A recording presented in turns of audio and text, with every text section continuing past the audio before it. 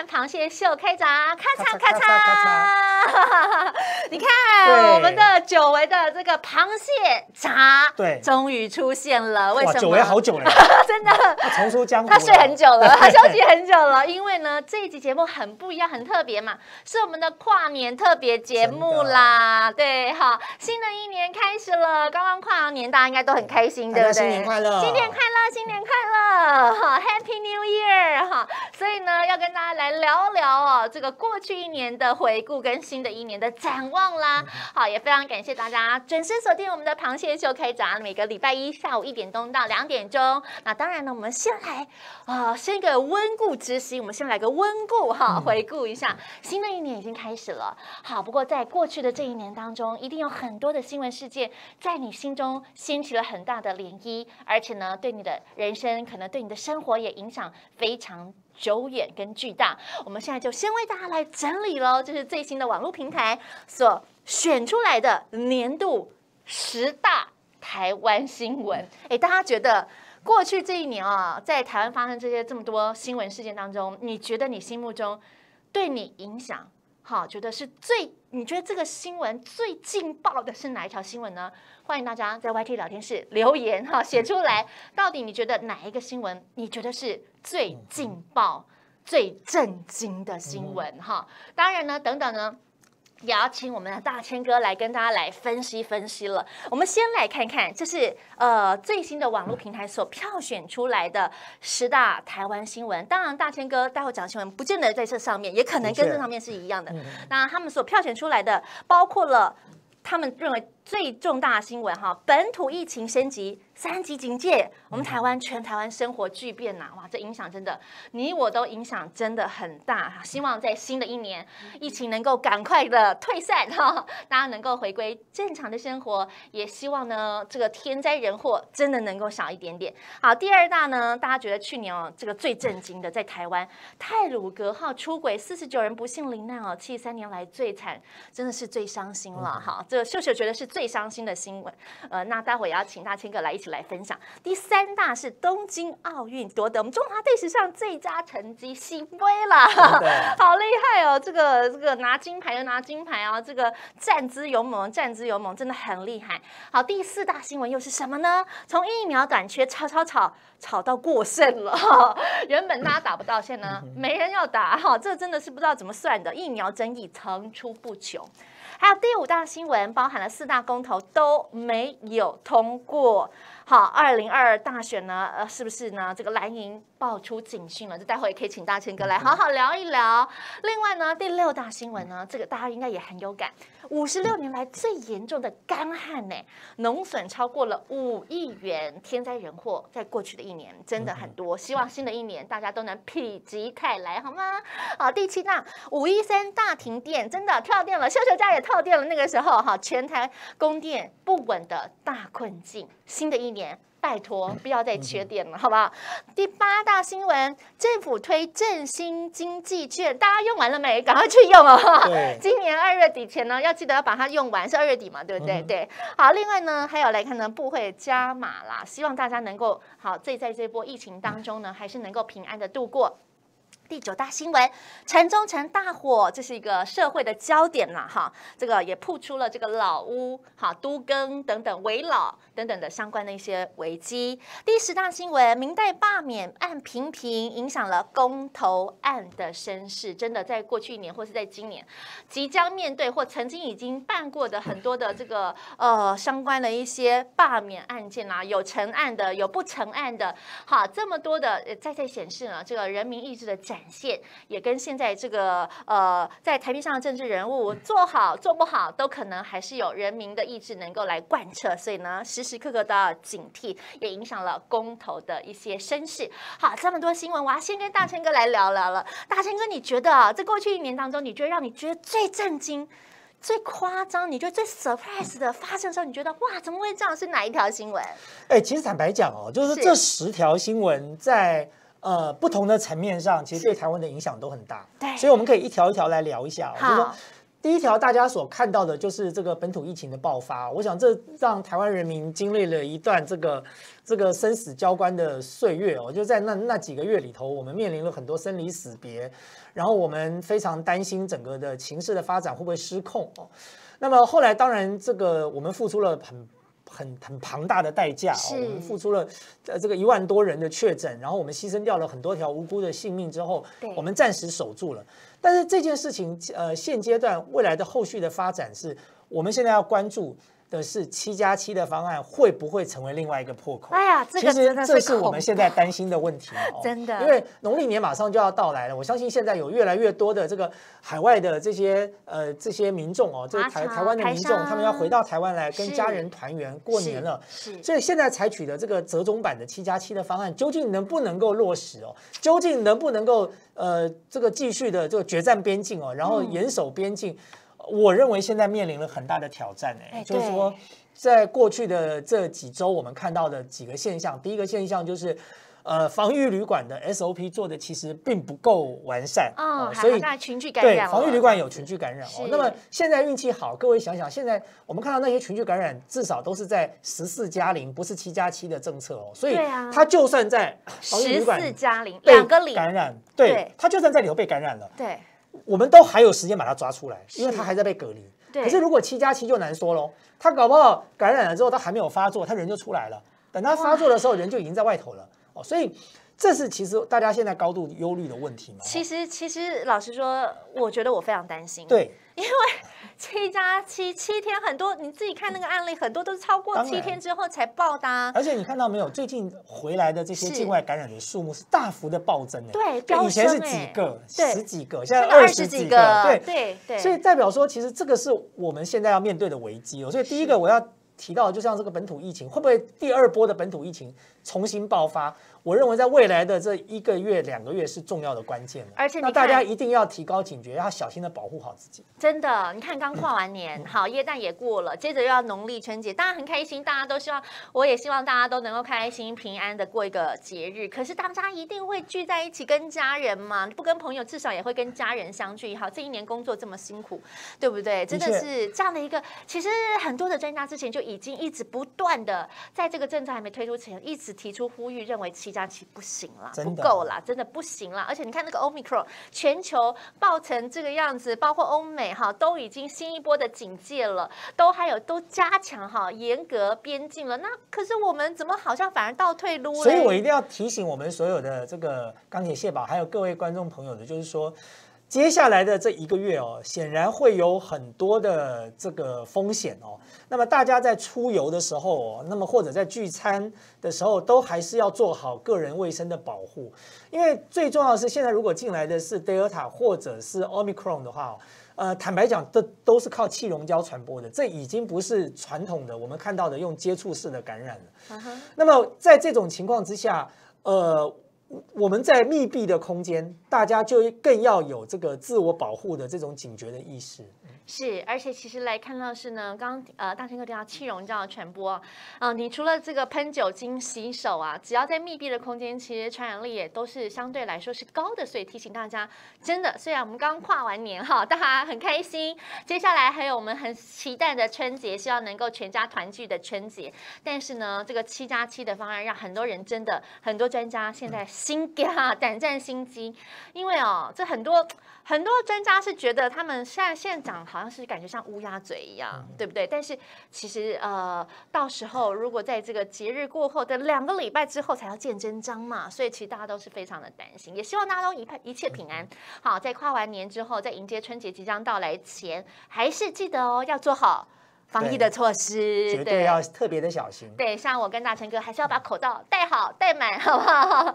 这个手还是记得要喷酒精。不过当然呢，其实呢，呃，我们来看是过去这一年来哦，其实秀秀自己觉得，我这最 surprise 的新闻是哪一个呢？是我们的东京奥运，中华队史上真的。好厉害，好棒棒！我觉得这是个充充满正能量的新闻。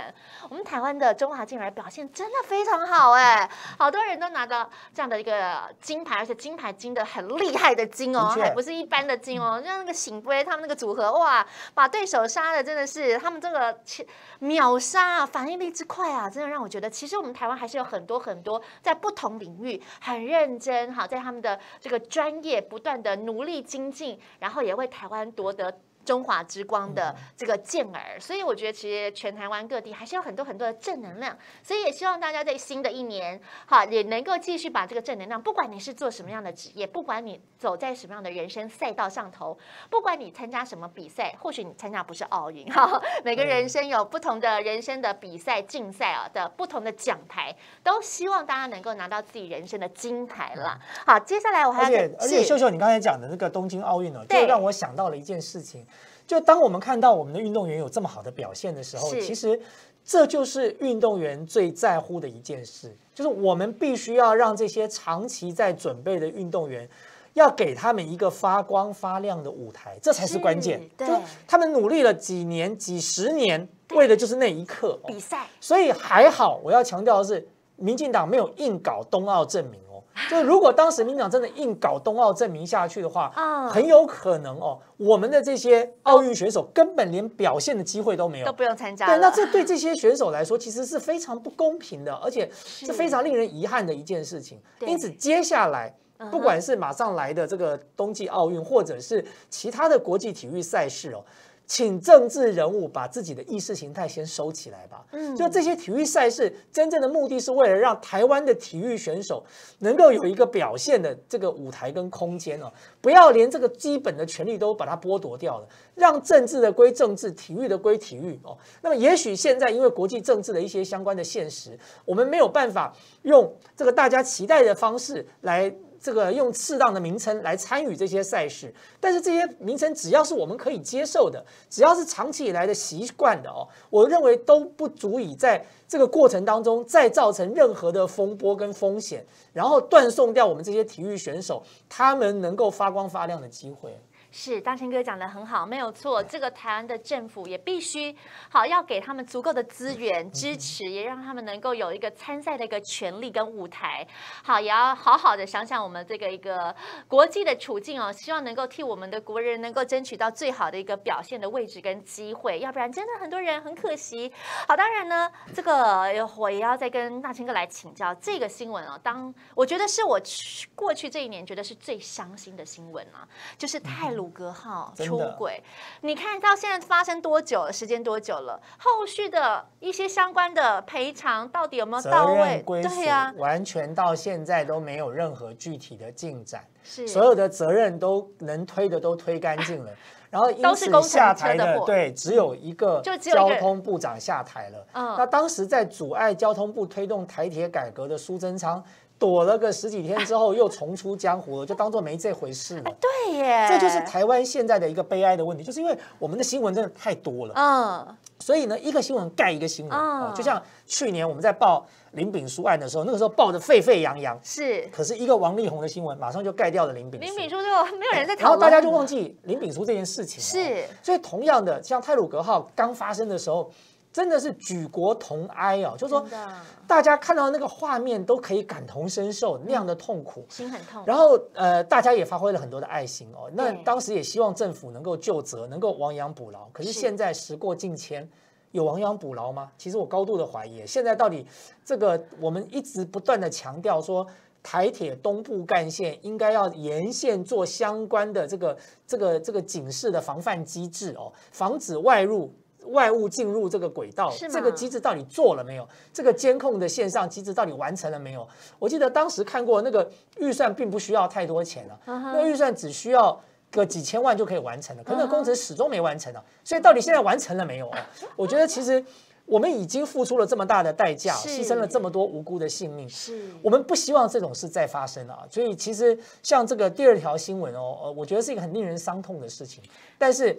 呃，希望政府尽快的给我们一个交代。没错，泰鲁格号出轨，我们真的不希望再次的悲剧、相似的悲剧再次的重演。不过我之前有看到一个访问，就是访问这个泰鲁格号他们呃这回里面的这个呃幸存者，好，最后一个出院的人，他就说。政府到现在还是没有，他们说好的那个做好什么防护网没有啊，没做啊，而且他们也说政府对他们的慰问态度非常的消极，错误全部都推给就是就是那个工程车，其他人都不用负责。对啊，其实最大的问题，工程车当然要负责，但是我们如果回归到当时的那个事件的话，最大的问题是为什么台铁东部干线在很多人烟稀少的地方，那个边坡是没有防范的，就哪怕你架一个铁丝网都好，连那个网都没有。哦，就什么都没有，就像是一个剥了壳的鸡蛋一样哦，随时都可能受到伤害。因此，我们不断的在呼吁台铁要把那个边坡的预警监视系统做出来。到现在为止，到底有没有？坦白讲，我是高度的怀疑啊。不过这样子真的是让人觉得，新的一年我们的政府真的要再继续加油，好吧？我们的监督的力量，我们中天电视、中天新闻会持续来监督看。政府到底有没有补好补满、亡羊补牢？这已经不是预先了。亡羊补牢，这个网子总是要补吧，不能让这个洞一直破在这边，越破越大，更多老鼠跑进来，不行吧？对不对？好，我们继续来监督。当然呢，再来继续看看是呢，呃，这个接下来我们要聊的，我觉得是这个 最扯淡、最扯淡的新闻是什么？秀秀觉得。过去这一年啊，最扯淡的新闻就是疫苗疫苗政策。我们台湾的疫苗政策真的是让人傻眼到眼睛都睡在地上，睡了三轮了，还在睡，怎么会这么的？离谱跟荒腔走板呢？原本是给领一年的时间超前部署，超前部署到最后呢，居然没疫苗。好了，大家想到疫苗，这别人国都在打了，结果我们想要疫苗打不到。好了，好了，刚先好了，结果民间企业跳出来救援了哈，这个公益团体组织跳出来救援了，终于买到足够疫苗了。结果也没有规划好，后来呢，政府相关的一些疫苗好像逼人民打高端一样，而且呢，后来居然又变成过剩，甚至还有疫苗过期，这中间。存在着好多好多政府对于这个疫苗政策的一些这个漏洞跟一些缺失哦，大千哥，对我觉得疫苗采购的黑箱作业哦，是造成台湾疫苗短缺最重要的原因哦，就是以台湾现有的财力哦，以我们的这个国际的实力，要买到足够的疫苗，理论上根本就不困难。嗯哼，那么为什么民进党从前年？呃的三千万剂的 BNT 都已经快要完成签约了哦，要进行采购了，忽然反转哦，然后忽然把这个 BNT 这个视如红色疫苗，极尽所能的抹红，极尽所能的抹黑哦，极尽所能的污名化哦，那么甚至最后连那个复必泰的标签都不能够有这个简体字。是什么样的一个理由让民进党的这个疫苗采购政策有这么大的一个反转，然后最后造成了台湾疫苗的短缺？其实这中间有太多太多的谜团哦，包含刚才秀秀讲的，像高端疫苗为什么可以在政府的这个重重的放水护航的情况之下一路过关斩将哦，在不可能符合国际标准的情况之下，台湾自己主动降低了。疫苗审查的标准，然后发了他的 EUA，然后接下来又进行采购，然后又让这个高端疫苗马上的就可以上市来进行施打，而且更重要的是还很贴心的为了高端疫苗设计了一段将近一个月的疫苗空窗期哦，所以才让几十万人不得不去打高端疫苗。我为什么要讲不得不哦？就是因为有选择，大家就不会去打了。所以到现在各位就可以知道高端疫苗剩多少，因为。所有去打高端疫苗的人可能都很懊恼，因为有很多人是被迫的，有很多人是被骗的。那么，但是这些打过高端疫苗的人，其实等于打白开水一样，因为他们接下来要出国要再打，还要重打嘛，所以他们接下来还是要重打。对，所以其实这些中间有太多的疑点了。那么这些疑点就好像是蔡英文的论文门一样，你只有等到政党轮替的时候，才能够看到真相啊。就如果你想知道在疫苗采购的过程当中到底发生了什么事。那么就只有政党轮替了，唯有政党轮替才能够把这些黑幕挖出来。但是你说疫苗哦短缺到疫苗过剩，其实我觉得台湾的疫苗不会过剩的，嗯，会过剩的原因都是因为卫福部自己指挥中心的政策失误的问题。譬如说，前一段时间有几十万剂的这个莫德纳眼看就要过期，可是我好奇的是，现在我们都在鼓励我们很多年长者哦，很多这个免疫能力比较弱的人哦，很多有长期病的朋友，你只要施打完两剂疫苗，隔了这个五个月，你就可以赶快施打第三针啦。对，而且其实全世界现在都在抢对 Omicron 嘛，这么的严重，对以不对？以莫德纳抢为例对，莫德纳的第三剂就是打半剂的剂量嘛。所以其实我们，我想我我那时候算过，哎，就我嗯我们几十万这个剂的莫德纳。事实上是立刻可以打掉的，因为大家想想，我们在先前大概五六月开始，我们的长辈就开始在打 A Z 了。是他们打完两剂 A Z，事实上现在就可以考虑重新要来这个施打这个这个莫德纳。事实上这，这是可以考虑的、哦。对那么那这如果政府做有效的规划哦跟运用的话，其实我们应该要尽量的让台湾的民众完成第三期的接种，因为到目前为止我们所看到的似乎。不需要针对 Omicron 去研发新的疫苗哦原本大家是说，哎呀，要不要打第三剂？等一等。如果 Omicron 取代了这个 Delta，而 Omicron 又这个无法受制于现有的疫苗，那就要研发新疫苗。对，但是现在看起来，这个疫苗打了第三剂之后，加强针对 Omicron 还是有一定的防范效果。哦，所以政府现在要做的事是什么？尽快的让台湾的民众在未来接下来的我们这一年完成第三季加强针的施打。是那么我必须说句实话，我们的疫苗远远不够。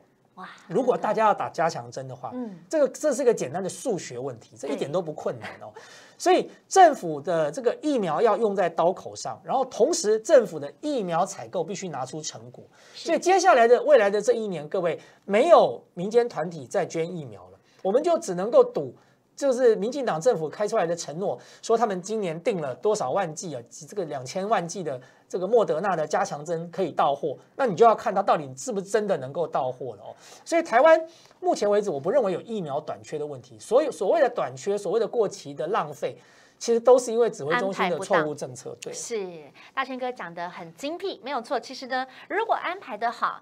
怎么会浪费掉呢？怎么会过期呢？就是没有安排好，没有衔接好嘛，然后整个呢政策一团混乱嘛，导致于人家想打的时候没得打，人家不想打的时候呢，这个疫苗的量并没有算好，才会变成这样的一个情形哦。所以希望新的一年。新气象了，Omicron 能够赶快好离开大家，我们的疫苗也能够打到足够。不过当然呢，我们还要再来聊聊的是今年啊、其实新的一年了，今年是一个很重要的一年。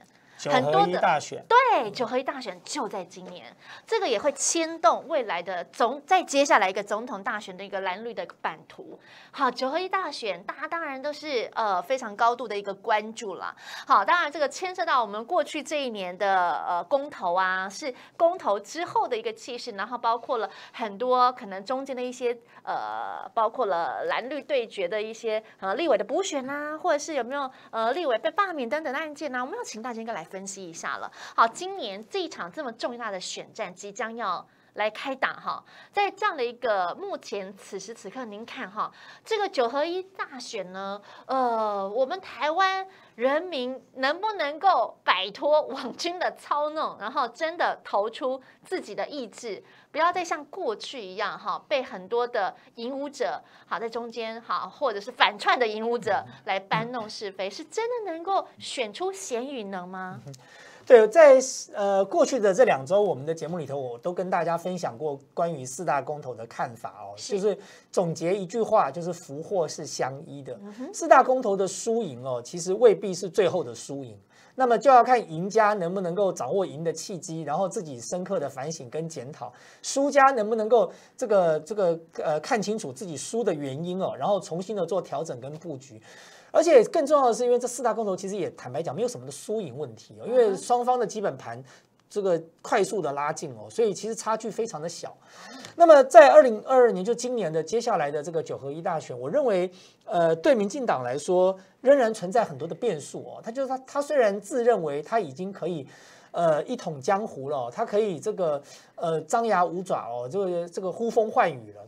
但是事实上，呃，如果仅以公投的结果来看的话，民进党其实是危机四伏的、哦，因为它除了基本盘全面的在萎缩，那包含事实上公投的这个主流民意的表达，未必是在民站在民进党那一边哦。那那些没有参加公投，可是他的呃意见是跟民进党相左的这些选民，有没有可能在九合一大选的时候转换成民怨哦，然后反扑到民进党的身上？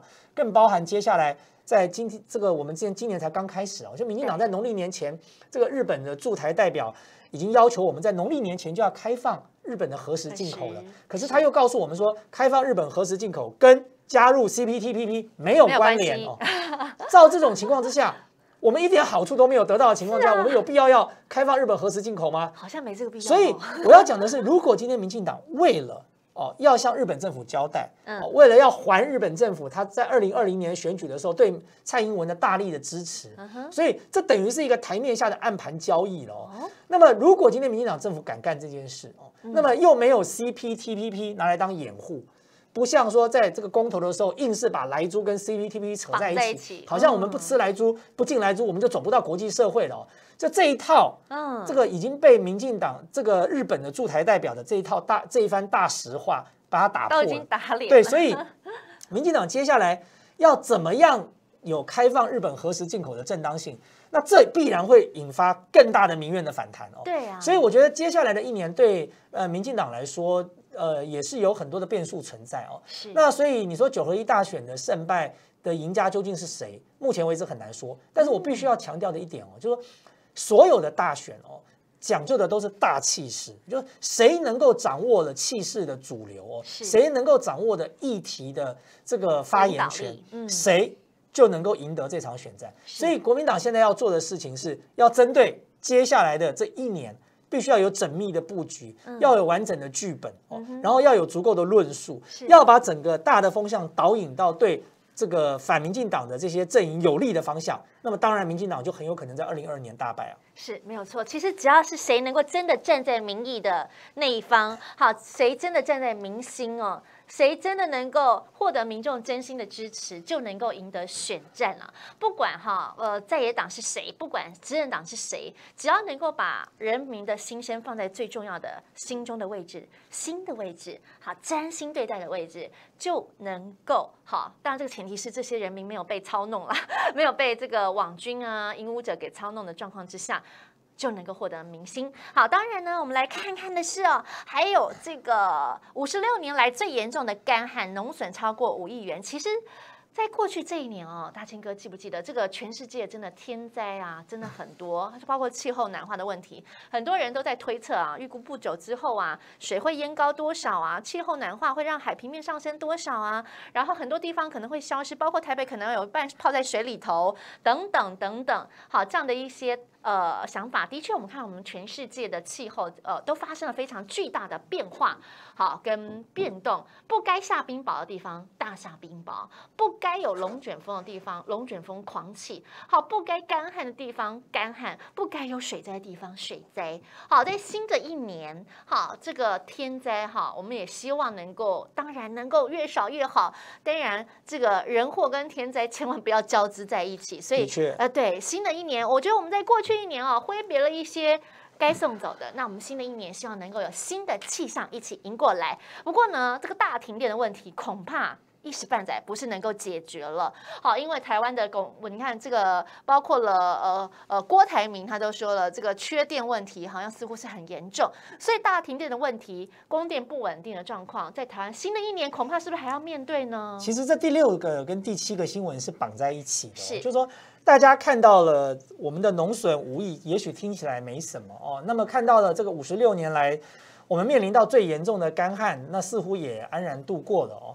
就但是就像秀秀讲的，它其实只是冰山的一角，就这是发生在台湾而已。可是全世界在过去这一年已经发生过太多严重因为气候变迁所造成的重大的这个天然灾害了哦。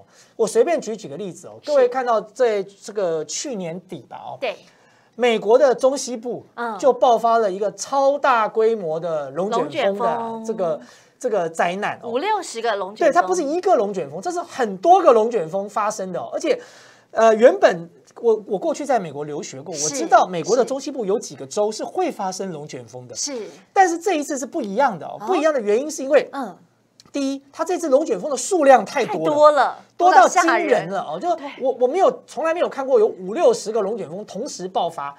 然后第二，龙卷风的这个强度跟速度都是很惊人的这个大家知道，这个龙卷风啊，就过去你们在电影里头看到的这个什么 Twister 啊，这种龙卷风的经验，至少你开个车子啊，你只要往反方向跑啊，你龙卷风追不上你的。可是这一次我们看到很多龙卷风的速度是惊人的，就是你就算发布了龙龙卷风警报，你现在跳上车开始在可能也逃来不及。你都你都可能没它快哦。哎呀。所以这这个龙卷风的强度跟速度跟以往都不同，是。再包含了像这个龙卷风，它可以肆虐到更多州。它除了过去传统的这个，比如说 Kentucky 啊这这几个州以外，嗯哼，还有很多州通通都这个受到了波及。就以前没有发生过对，龙卷风，居然也被这在这是龙卷风的案例，你更不用讲美国的森林大火啊。对美国的森林大火在过去这一年的三场森林大火，就烧掉了整个半个班乃迪克州哇的的面积耶。是树木就没有了欸、然后在你再看到南北极的状况，嗯嗯，北极已经到什么状况了？北极已经到了这个我们的北极熊都快要没有东西吃了。各位知道北极熊本来是吃海豹，嗯哦，那海豹的栖息地就是在海冰上面嘛，是北极的冰。海冰上面是可是当没有浮冰了，当没有冰层了，海豹海豹就活不下去了，你知道吗？然后嗯北极熊就没有海豹吃了，嗯所以我看到去年的一些画面，北极熊开始吃驯鹿了，又开始吃，因为它没有海豹啊，它只好去猎杀其他的动物，你改变了。整个这个北极的生态哦，就是未来北极熊可能都会灭绝哦。那你更不要讲南极了，是南极的冰帽现在正在大幅的这个融化哦，南极的这个冰川最后的冰川也在融化当中。嗯那企鹅怎么办呢？企鹅也没有栖息地嘞。对耶，所以全世界现在正在面临这个气候变迁、全球暖化的冲击是，而且更重要的一点是，这个情况它恶化的速度，保证你跟我都看得到，这是我们担心的哇。在是。二零三五年，很快啦，马上就要来临了哦，就十几年以后，秀秀，我们后两个都看得到，大家好好保重身体。我相信所有的观众朋友都看得到这一天。二零三五年的地球就已经是一个不一样的未来，不一样地球了。这个有一更多的天然灾害，海平面的上升，然后甚至当海水的这个浓度的改变，整个洋流也会改变哦，所以会有更多的物种灭绝。是海中生物也都不一样了，对，然后包含我们的这个农作物的生产也会面、嗯。面临问题，包含我们看到台湾的干旱，台湾的干旱只发生在台湾哦，可是全世界的沙漠化的情况，很多地方都更严重了。是。当沙漠化发生的时候，农产农产品的这个数量就会降低，所以全球马上就会陷入了一个粮荒的问题。所以这些东西都是全球暖化造成的。嗯。但是我们所看到的，在去年还有一件非常重要的事情，叫做 COP26，就是呃联合国气候变迁大会的这个第二十六届的会议。在那一次的会议里头，大家原本期待哦，这些先进国家能够做出具体的这个减碳的宣誓，而且要有具体的行动。但是很遗憾的，当时并没有达成这个共识哦，但是也做成了一些这个呃未来努力的方向的确认。是那么 COP26 之后，马上所来临的是什么？马上带来带来的就是像欧洲国家对、欧盟开始宣布要苛征碳边境税了。在二零二六年，今年是二零二二年哦，对四在年后。二零二六年一月一日开始，欧盟就要苛征碳边境税。那碳边境税是什么呢？它针对所有的进入欧盟的产品，它都会进行碳的足迹认证，就是说你今天生产的这只手机，到底这个生产的过程当中用掉了多少碳？哦是那么就是你的一个碳的这个累积的、但是它就按照你这样的一个这个这个排碳的状况，对，来扣你的税。哦。所以如果今天台湾不针对这些货物先征苛征碳税，是，那么欧盟就会帮你苛了。嗯哼，那在这种情况之下，必然会垫高我们的产品的成本。对，是所以各位现在可以看得到，为什么台积电几乎把台湾的风电都买掉了。嗯因为那就是绿能嘛。因为台积电很聪明的知道说，接下来全世界的各大厂商哦，可能都会在考量这个呃这个全球暖化的这个对抗的策略当中，做出积极的表态哦，就是说所有他们的零件采购都要以这个零碳排或者是碳中和作为前提。是哦，就是你做得到零碳排再说，你做不到零碳排，我就不要买你的，要不然就被课税了对，所以台积电已经在做这样的事情了哦。那么台湾其他的产业能不能够经得起这样的一个挑战？经不只是欧盟，我相信其他的国家也会陆续采取类似的措施哦。那么为什么我说六跟七是连在一起呢？是。这就跟台湾未来的发电结构、能源结构有密不可分的关系了。因为各位知道，所谓的这个碳排放的过程当中哦，嗯，最严重的排碳当然就是人类的生活，在人类的生活里头，最严重的排碳又是来自于交通工具跟发电哦，这都是这是二氧化碳排放最大宗的。是，所以台湾在过去的这段期间，民进党端出来的这个能源结构的菜单是告诉我们说，是，呃，要走百分之五十的天然气发电，百分之这个呃二十的这个绿绿能，百分之三十的呃这个燃煤发电。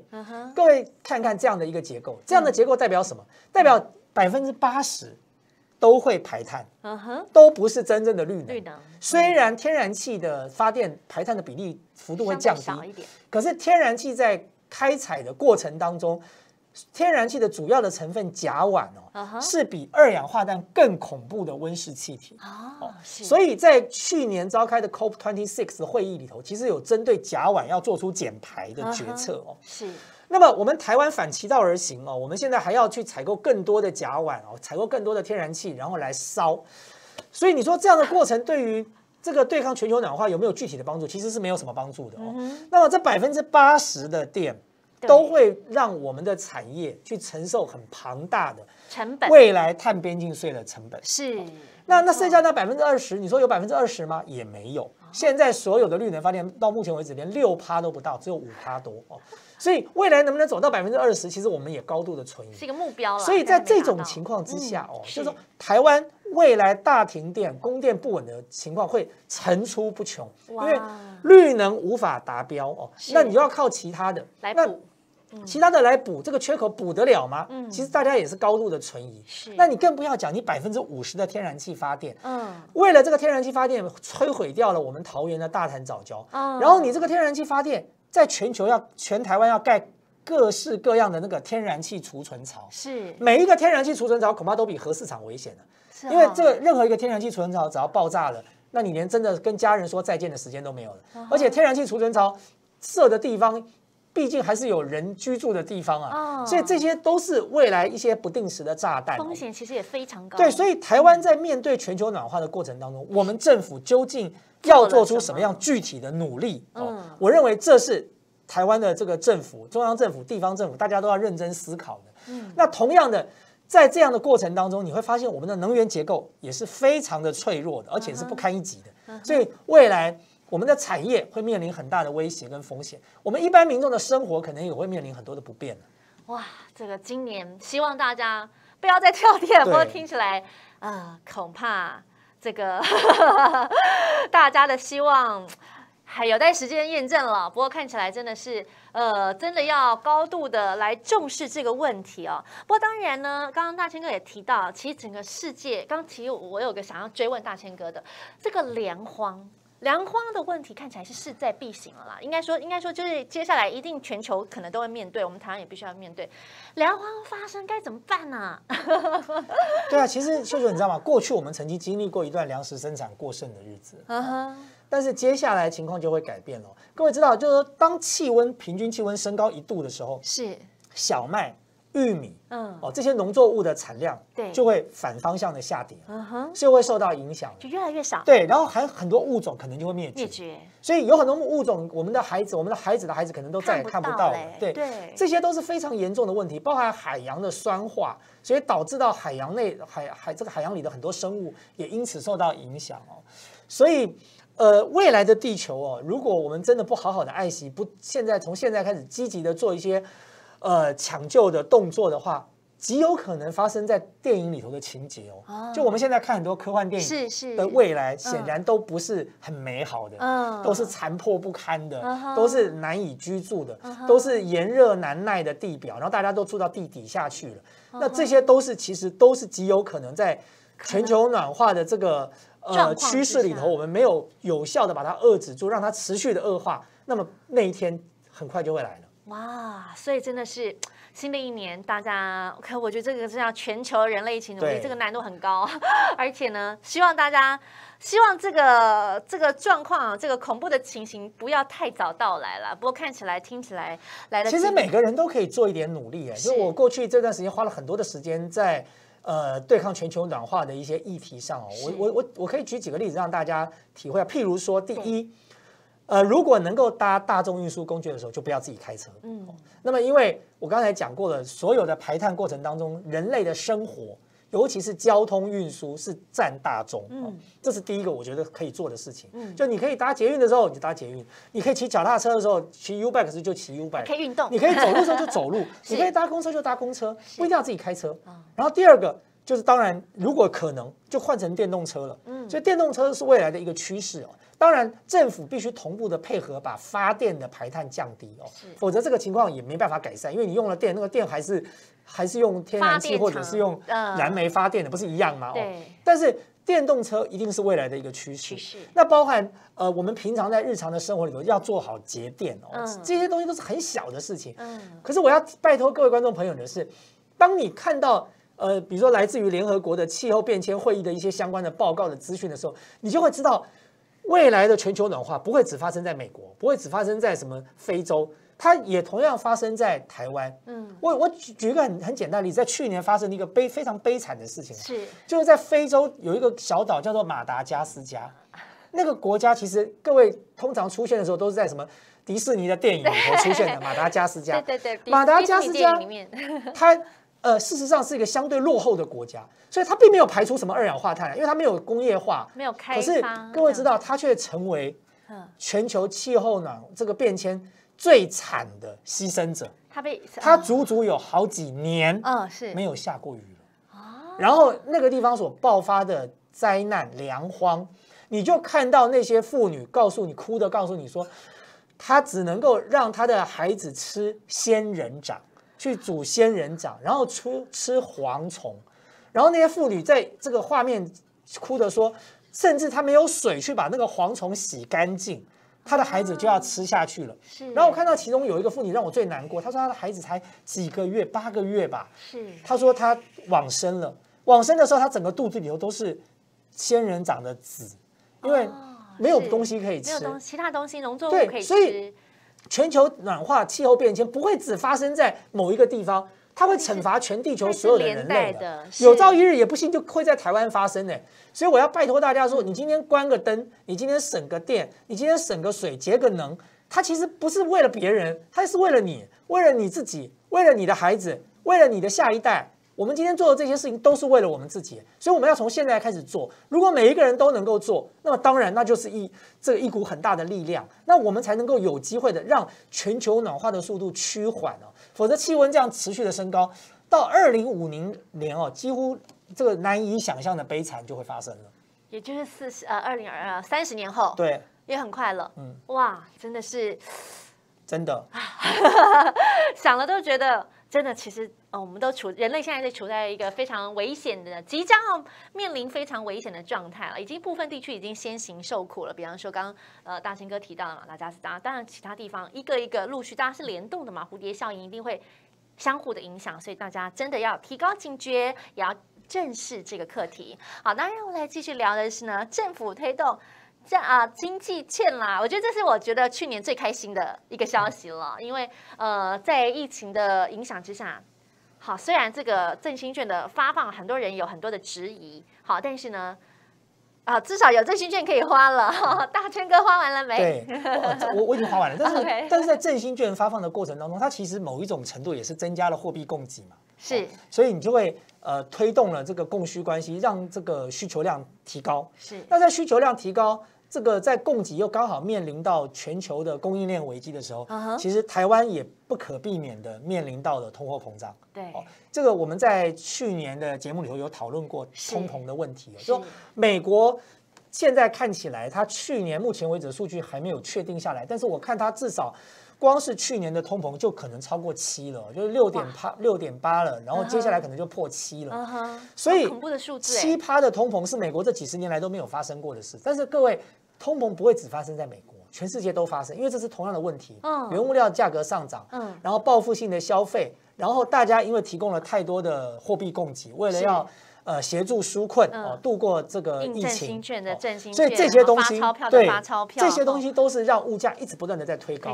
所以各位现在如果走出了这个大家的家门，到外面去想买个食物，这就可以强烈的感受到了，荷包变扁了，而且物价上涨的幅度它不是三趴四趴，哎，嗯。它物价上有时候十趴，10%连一碗泡面，我们最喜欢吃的那个统一的满汉大餐，它都已经涨了十趴了。是。那个 Costco 哦，大家去 Costco 买那个卫生纸的感受就很深了。嗯。那那个涨价的幅度都很大，是。所以这个涨价的通货膨胀的情况，如果在未来这一年哦嗯，全球供应链的危机还没有解决哦，或者是说这个呃，就原物料价格还是持续的维持在高点哦，那么当然通货膨胀要要改变很难了哦，尤其是关键国家就是美国，嗯美国的联准会为了要是维持住。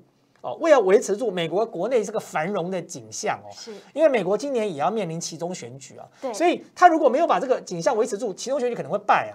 所以那你美国觉得他们的联准会，在今年他们会一直维持住吗？我我认为美国的联准会会升息，可是到底会升多少？其实现在有各种说法有一种说法是说它就升个这个两码，各位知道一码是多少？一码这个叫零点二五，对零点二所以两码呢就是零点五而已零点五那美国的利率现在是零啊，所以零到零点五其实没差的嗯。所以这样的升息哦，能不能够这个让通货膨胀翻转？没办法。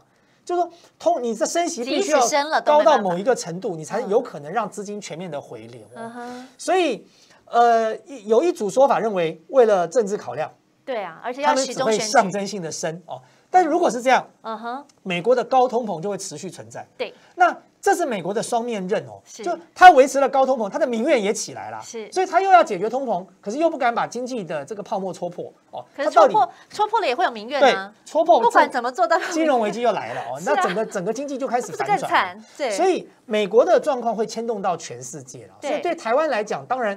呃，我们也是在风口浪尖上啊，就是你看着美国到底是不是会升息？美国如果升息，台湾必然也要升息哦。那当然资金就开始会回流，那通货膨胀的状况就会好转。可是同样的，呃，我们现在的这种经济融景跟泡沫可能就会破掉了哦。对，所以其实台湾民众现在面临了一个其实好像不管怎么样都有都都都是蛮难的，就像到今年，虽然我们看到军工价加薪四趴哦嗯，然后这个基本工资的调涨，可是各位如果对比一下四现在，趴跟通货十趴，对。还是有六趴补不对上，，所以其实你的钱还是变还是变小了。对，即使你有加，真的加到的话，当然。前提，所以其实呃大家的生活会更辛苦。啊，对啊，那这样这该怎么办呢？而且其实这个大家其实也都是很担心，说到底什么时候呢会变成这个哈，这个待会我们再进一步来请教。好，接下来未来的趋势，这个要好好来请教一下大千哥来分析。我们先把我们这边的十大新闻讲完。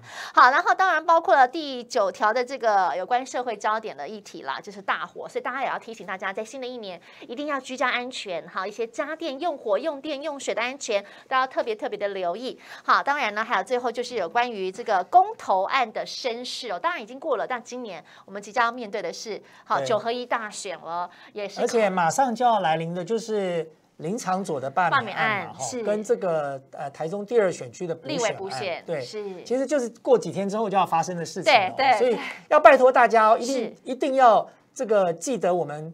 公民应该有的权利跟我们的义务哦，是就是说这个罢免案也好，或者是这个选举，其实这是我们人民展现意志、表现声音的最后的一条防线了。我们千万不要让我们手上的武器生锈哦，不要自己废掉了我们自己的武功哦。所以我要拜托这个中正万华地区的这些选民朋友，一定要出来投罢免案哦。你不管你支持或反对，是不要放弃这个权利。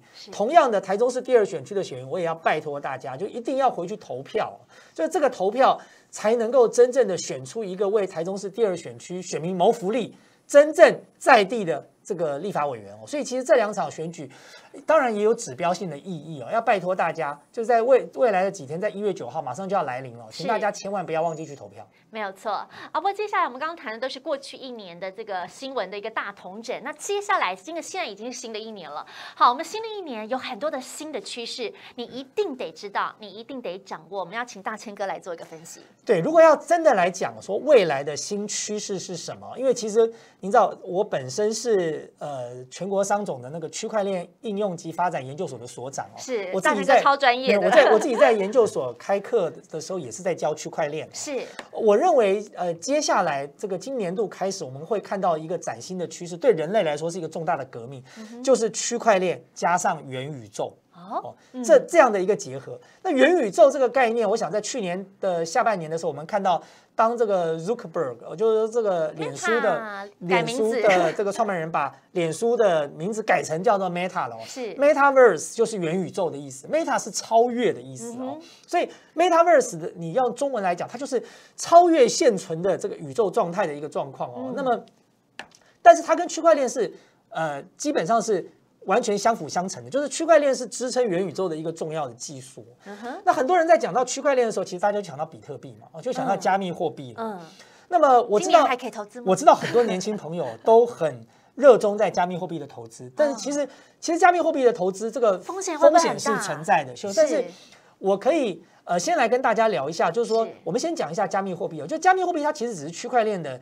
呃，技术展现的一环啊，它不是区块链的全部，是应该说区块链这样的技术支撑了加密货币的发行。是，那加密货币之所以有魅力的原因，就是因为区块链它是一个去中心化的，又不可篡改哦。是，所以呃，这是一个很重要的功能。大家知道，就是说秀秀，你想想看，以前在网络上哦，就网络时代，是它其实颠覆了我们的生活。对，它颠覆了什么生活？就是我们以前要写信，对啊，过年要到写贺年卡，用 B B 扣，你要写。那个圣诞节写耶诞卡，过年的时候你可能要寄卡片，可是现在还有谁会去写信？还有谁会去寄卡片？Line、WhatsApp，现在连发 email 都很少了。对，为什么？就是在网络上，它给了我们一个新的、不同的面貌跟生活。就是我们在网络上传递所谓的资讯，非常的可以通行无阻，而且快速立即发生。是，所以你可以在网络上传递照片，你可以在网络上传递讯息，你可以在网络上传递影片哦。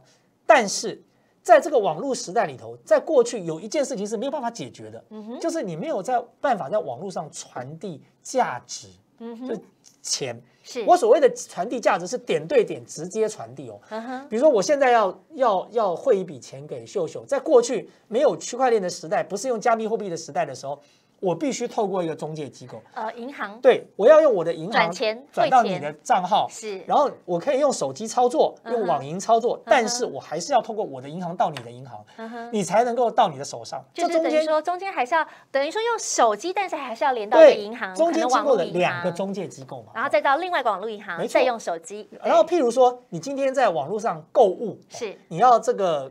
这个去做一些采购，你中间也要有支付机构啊，譬如像支付宝哦，譬如像你的银行哦，这些都是中介机构。哪怕你在 PC 上买东西，你还是要刷卡。那这个卡是什么来的？这卡也是从我的账户，这个我的卡到到这个支付付付费给这个网络上的厂商，这是一样的问题哦。那这个问题怎么解决了？区块链把它解决掉了。所以这就是区块链的魅力所在啊，就是说它解决了。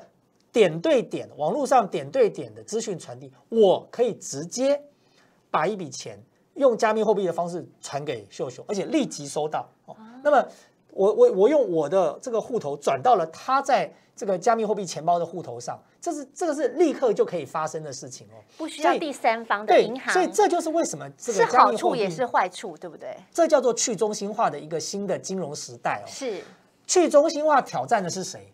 挑战当然就是中心化，对，所以银行以后会少掉了很多 business 啊，它少掉很多业务，工作可能要不见，还会挑战谁？你知道，就还会 挑战中央银行。啊，因为每一国的货币是自己的主权的展现。是，那如果今天中央银行发行的货币没办法 被使用了，那包含会冲击到美元，是。哦，美金是之所以能够称霸这个全世界这几十年来吃定全世界的原因，就是因为美元是通用货币。可是当加密货币取代了传统货币的时候，这些东西都没了。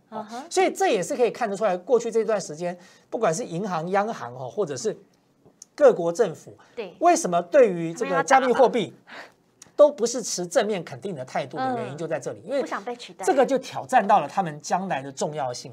但是你说加密货币能不能投资？我要跟大家分享的是，我觉得加密货币当然可以投资，就投资加密货币要有一个概念，嗯，就加密货币是。千奇百怪，什么加密货币都有的，你知道吗？小狗币，对，小猫币，狗狗币啊，什么柴犬币，这大家有名的哦。然后这个没名的还一堆，一大堆莫名其妙的什么。你如果可以去创造一个，就各种各种币都可以有。然后，所以到底哪些？当然乱，就是哪些加密货币是可以买的？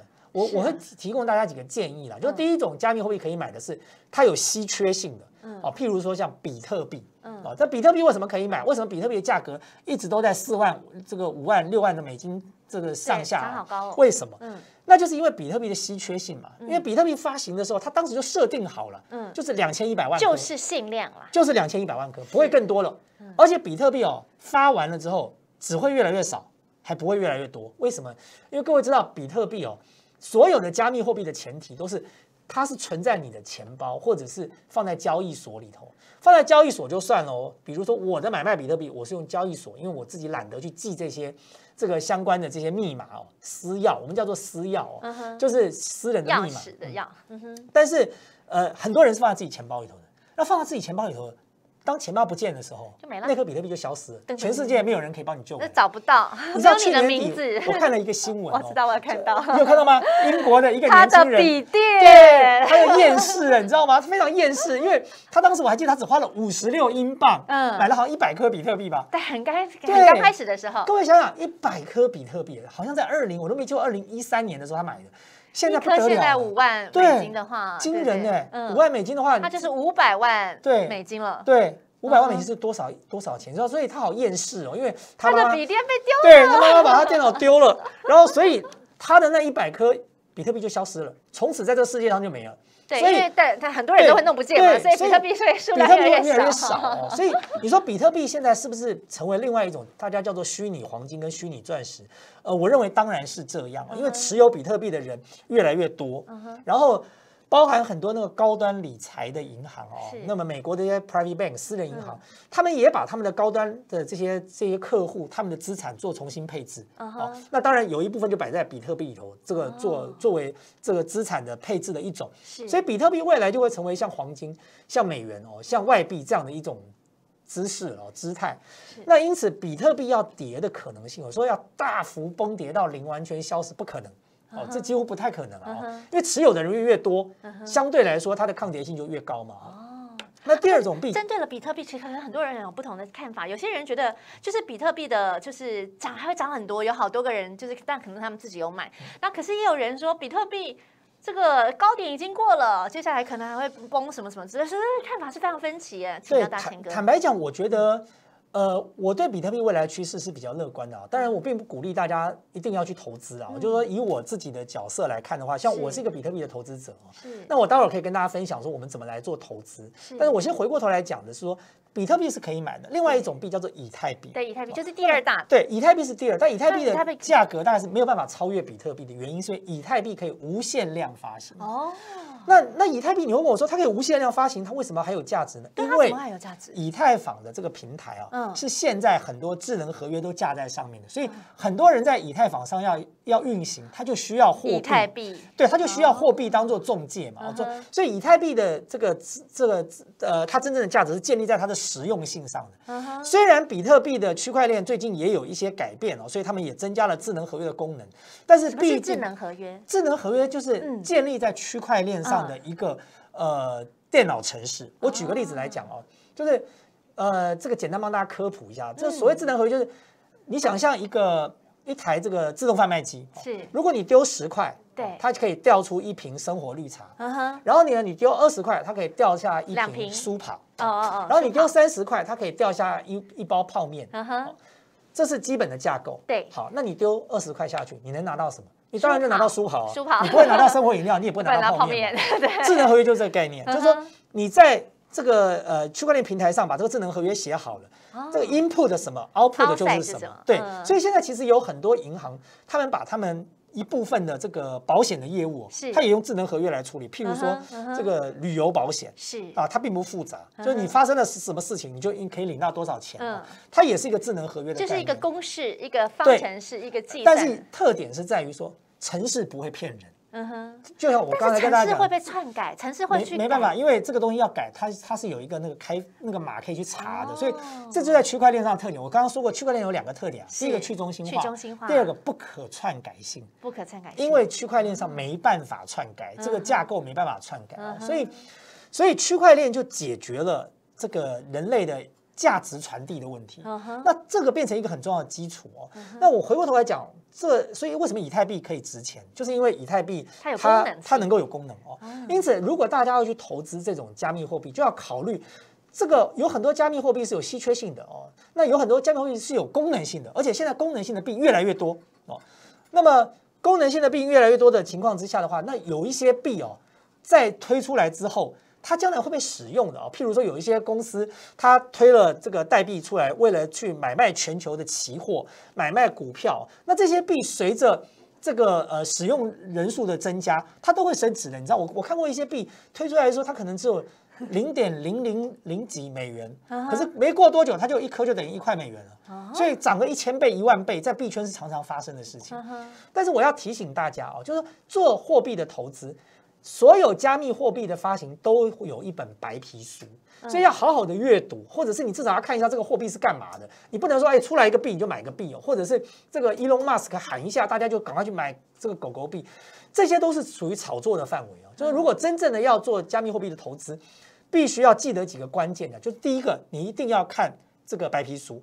现在在这个在币圈有很多是属于庞氏骗局的，就前一段时间出来对啊的鱿鱼币。你知道那鱿鱼币是因为鱿鱼游戏这个游戏哦，就发了鱿鱼币。秀秀，你知道吗？这鱿鱼币哦，在发行之后几天涨了七千倍，然后再过两天就归零了。所以归零的时候，很多人就在骂，你知道吗？说这就是一个庞氏骗局。为什么会归零？好，归零的时候，很多人就自我调侃说，那就是鱿鱼游戏啊。鱿鱼游戏最后赢的只有一个人，不是吗？所有的钱都只给了一个人，然后最后只不过是这个鱿鱼币赢的人就是那个骗骗子啊，他的他做做做出来的骗局啊，所以 要慎选白皮书了。然后第二个就是刚才秀秀讲说怎么买，我会建议大家就那种定期定额啊，像我是比特币的投资者，我没有办法去抓住比特币的汇率，它波动很大，所以我每一段时间买一点点，买一点点，买一点点。是，而且第三个特点，我要提醒大家是，千万不要 all in 哦，就是不要把全部的钱都投下去哦，这真的不要去做这种归零就对，它随时都傻眼归猫咪加酷酷，对，所以其实我觉得未来这一年哦，最重要的随时都可能趋势归零的，就是加密货币。那有了加密货币的支撑，元宇宙就可以形成了。